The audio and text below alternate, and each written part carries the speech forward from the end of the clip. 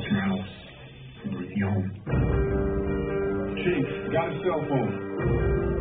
This thing is way bigger than we thought it was. They're gonna hit us at home. Probably gonna happen.